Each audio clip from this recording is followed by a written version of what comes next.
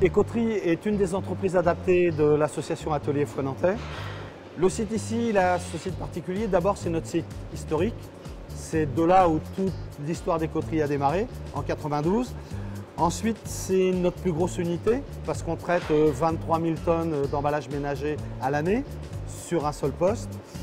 Et c'est aussi le seul centre de tri des emballages ménagers qui nous appartiennent en bien propre. Les autres appartiennent aux collectivités, on exploite pour le compte des collectivités.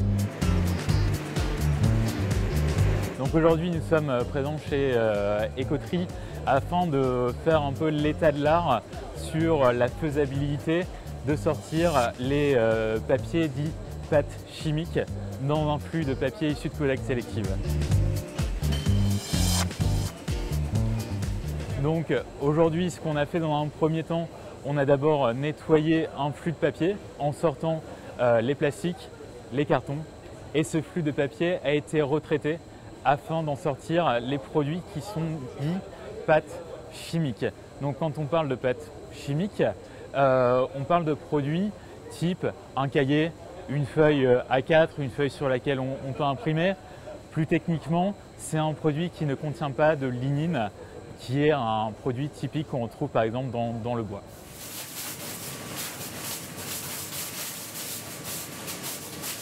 En fait, c'est pas tout à fait qu'on s'oriente vers le tri des papiers graphiques, c'est qu'aujourd'hui, compte tenu de l'installation technologique de, des systèmes que l'on a sur place, on peut le faire. Donc le but d'aujourd'hui, c'est de montrer aux gens qui décident, en fait, les cofolios, les collectivités, etc., que bah, s'ils souhaitent, on peut le faire. On est en capacité de le faire.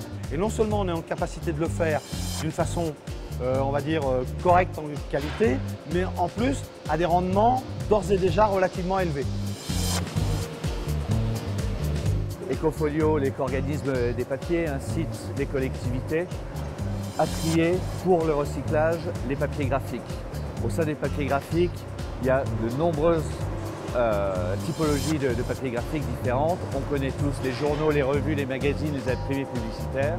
Mais il y a également les papiers dits bureautiques, donc les feuilles blanches type A4, les enveloppes, des, produits composés de fibres très blanches qui sont très recherchés derrière par les filières de, de recyclage. Et ces filières de recyclage qui demandent des fibres très blanches font face actuellement et depuis euh, longtemps à plutôt une pénurie de disponibilité de cette matière première. C'est pourquoi Ecofolio cherche à mobiliser les collectivités locales pour produire des sortes papetières, donc des qualités de papier récupéré, permettant de répondre à ces besoins.